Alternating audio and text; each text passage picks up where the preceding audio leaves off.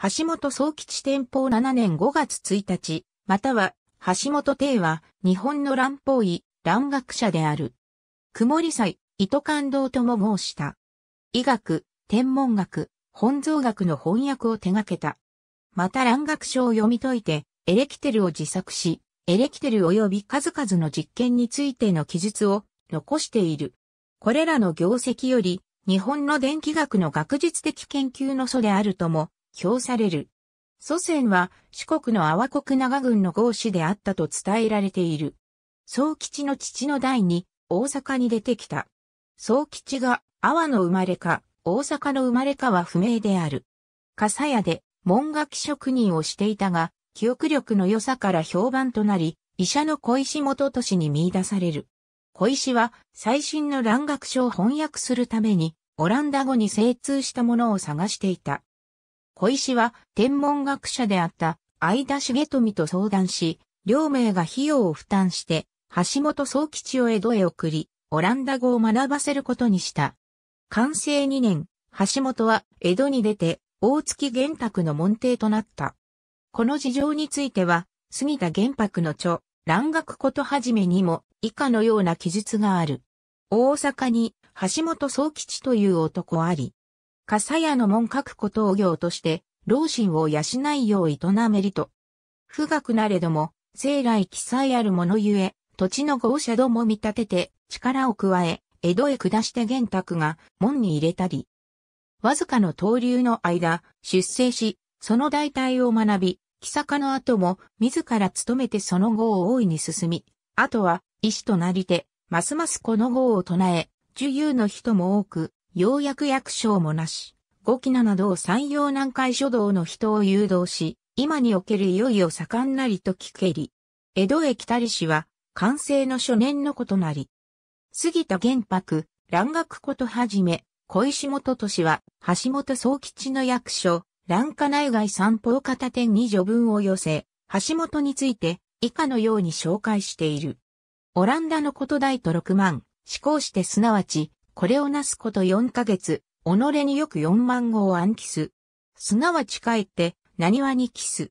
小石元俊、蘭家内外散歩片点つまり、小石元俊の記述によると、橋本は4ヶ月の江戸の滞在でオランダ語を4万語を暗記した後、大阪に戻ったことになる。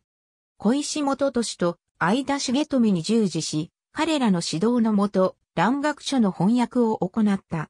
また彼らの仕事の手伝いをしていたと考えられる。相田重富の月食観測日記の完成10年10月16日の項には、橋本総吉、蘭学者、検手測量の自派手伝いいたすものなりと記されている。橋本が従事していた小石本俊と相田重富が相次いで大阪を離れると完成8年頃独立して医師を開業した。今日はの初めの頃、今日移し、蘭学塾、糸感動を開いた。この頃、活蘭新薬地球全図を出版した。完成12年、門弟の布施や祖敵、鏡文献、大谷直祭などと共に、霞島の形状で、女系カバネの解剖を行った。この時の解剖図は、鏡文献、大谷直祭が、婦人内系の略図として詳細に書き残された。その後、蘭家内外三方型展の執筆に取り掛かり、文化元年から文化10年までに六巻を上司した。序文は、大月玄卓が寄せ、本草、薬法、製薬、治病、気方秘術などの各部に分かれている。寺子屋、朝日昇堂でのエレキテルによる百人脅しの様子、表した、挿絵辞書、オランダ姿勢、エレキテルキュウリ、原の符書によると、天明3年の21歳の時に山中という人物の持っていたエレキテルを借りて実験したと書いている。40歳の頃からエレキテルの研究に没頭した。おそらくはオランダのボイスが編集した百科事典、ラン、ニーブ EN ボールコマンウデンバルクバンコンステン、EN ウェティンスチャップンを参考にしたと推測される。この百科事典の中で電気に関する記述は図版も含めて13ページほどであり、該当箇所の内容はエレキテル訳説として橋本総吉の手で翻訳された。さらにこの時点とヨハネス・ボイス著、ラン、ナチャーキンドジグスクルバックを参考に、エレキテルを使い自ら行った実験を載せた、オランダ姿勢、エレキテルキュウリ腹を表した。大月玄卓は、構成身辺の腰列基地定理機的をツタの項で以下のように、橋本のことを記している。さて近き文化牛未了年の頃、何話の橋本棒というもの、右ボイスの表せる図説及びナチュールブック等の乱書に始めする諸説を読んで、その大体のりをわきまえ、よってこの器における種樹の機構を発明したり、大月玄卓、構成新編橋本は単にエレキテルの原理を解説しただけではなく、エレキテルやライデンビンを使った種樹の実験を行った。これらの実験について、オランダ姿勢、エレキテルキュウリ、腹の中で解説を行っている。例えば、寺子や朝日のボルドーを似て104人の子供に関連実験を行ったと記している。100人怯えと書かれたライデンビンまた、オランダ姿勢、エレキテルキュウリ腹には、ベンジャミン・フランクリンのタコを使った雷の実験のごとく、先週佐野で門人の中菊太氏が高さ19件の松の木を使い、天の火を取る実験を行ったことが記されている。この他にも、オランダ市政、エレキテルキュウリ原には、エレキテルで焼酎に火をつける実験、エレキテルでカエルネズミスズメなどを気絶させる実験、エレキテルの静電気で紙人形を踊らせる実験なども書かれている。オランダ姿勢、エレキテルキュウリ原には、松原右中が作ったエレキテルと、それを参考に、橋本が作ったと思われるエレキテルの説明が書かれている。これらのエレキテルは、平賀県内のエレキテルと異なり、鉄章に帯電させる方法をとっている。雷電瓶に静電気を貯める実験についても記述がある。雷電瓶として一章五号入るガラス瓶を用いたと記録している。構造としては、先端に真鍮の玉をつけた真鍮棒をガラス瓶の中に差し込み、ガラスとの間を松ヤニで封じ、瓶の外側に金箔を貼って、瓶の中に金属の削りくずや水などを入れたものである。このような実験を集めて執筆されたオランダ姿勢、エレキテルキュウリ、原上下2巻は、不死や素、敵の序文の日付から文化8年の秋には完成していたはずであるが、文化10年2月に出版願いが出されている。しかし、同年8月に却下され、刊行に至らなかった。橋本は蘭学書翻訳の集大成として、西洋維持修正の翻訳に取り掛かった。本書は、当初、本蔵部24巻、薬法部5巻、製薬部6巻、治病部15巻の合計50巻とする予定であった。遂行の末、本草編と治病編の2編として合わせて35巻までとし、さらに序文や総目次などを載せた首札1巻を加えた。文化11年、西洋維持修正宝箱の出版を願い出て、文化13年に許可が下り、文政4年まで出版が続けられた。その後、過失訂正が続けられたが、全巻の出版を見ずに、橋本は大阪を去った。文政年間後半の橋本総吉の行動はよくわかっていない。文政10年、橋本は広島竹原に一時隠遁しと言われる。ここには橋本の弟子で娘婿が医者をしており、これに頼ったものと考えられる。隠遁の要因は明確ではない。有力な説として、文政10年に大阪でキリシタンバー逮捕事件が起き、橋本の塾に出入りのあった藤田健三がこれに連座して捕獲され、これに身の危険を感じたからというものがある。また、翌年に起こったシーボルト事件を察したためという説もある。橋本は天保元年頃に大阪に戻った。このため、事件への連座を恐れたというより単に娘夫婦の呼び寄せに応じただけという説が有力である。山本石前の何和人決断によれば、天保7年に死去。現大阪市中央区上本町の念仏寺にて葬儀が行われた。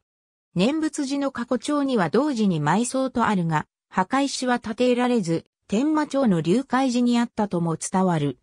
先週イスタにて、天の火を取る図説と題された挿絵レキテルを用いて、電気実験をした人物として、平賀源内が知られている。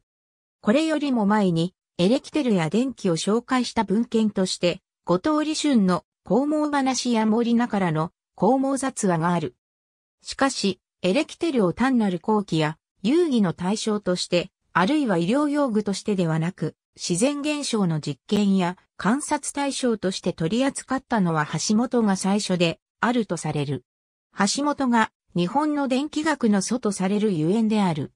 この論拠として橋本総吉はエレキテルの原理を説明している。例えば、オランダ市製エレキテルキュウリ腹の中でエレキテルはエレクトリシテートと運と共に琥珀の力と運異なり、ゼニオリテはが輩、エレキテルを薄力者と呼びエレキテルの木を迫力と呼ぶと記述している。橋本のエレキテルを使った実験の解説は30項目に及ぶが、治療目的の記述は2であることから、橋本がエレキテルを自然科学を探求する道具として捉えていたと推察できる。大阪の医者、山木石前が文政11年に刊行した海外林伝は、主に京都と大阪在住の医師の名簿であるが、この中で橋本総吉の項に大阪の西洋学派総吉より閉まると書かれている。完成10年の11月26日が太陽暦の1月1日にあたり、大月玄卓の蘭学塾である四蘭堂ではこの日をオランダ正月と称して祝う宴を開いた。この時の座教として、東西蘭学者の番付が作られた。この番付で、橋本は西の小結びに挙げられている。一方、地理の知識については、山村彩介が厳しく批判している。活乱新薬地球全図について、死にあたる大月玄卓がこれを入手。大月が、門弟の山村彩介に添削を依頼したのであった。山村は、六秘弁語という小冊を記し、橋本聖派、毛出しオランダの書物を読みたる人に派ヒズと権油、この地図波状に弁ずるごとくに帯ただし、思考苦節図産をなすと痛烈に批判している。橋本のオランダ語の単語記憶力についてはすでに述べたような逸話が残っている。また、長崎の通詞であった奈良林十兵衛が江戸からの帰りに大阪で宿泊した際、門弟の布施やそ、敵の案内で、橋本総吉が訪ねてきた。奈良林十兵衛が取り出した一冊の乱章、橋本は、これを読むこと流水のごとく、その解釈することあたかも宿感のもののごとしという能力を見せ、奈良林十兵衛は、我ら、これに移植する者も、格のごとく敏捷なるは稀なり、恥ずべし恥ずべしと述べたという。西洋維持修正宝箱の出版にあたり、橋本は序文で自分は大西遺跡を好み、これまでに数部を訳したが皆小冊再編である。この度入手した維持宝箱はすこぶる大部のもので、これこそ後世に伝えるに足るものである。西洋には元来、八必ず字、金卓という言葉がある。つまり功を持たぬ人が著書を残して子孫に変えることである。自分は不幸にして一難もないので、本書を訳して上司しよう益したいという内容を書き残している。蘭学では名声を馳せたが、医師として世間の評価はあまり高くなかったと推測されている。証拠として、相田重富が高橋義時に送った手紙では、医師としてうまくいっていないことが書かれていた。また、江戸時代に作られた大阪の医師番付でも橋本の評価が必ずしも高いものではなかった。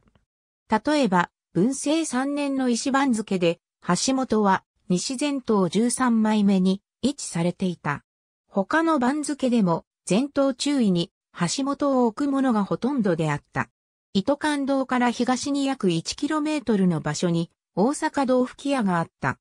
ここへ火傷治療のために橋本総吉が文政3年と天保4年に往診した記録が住友家の年々期に残っている。ありがとうございます。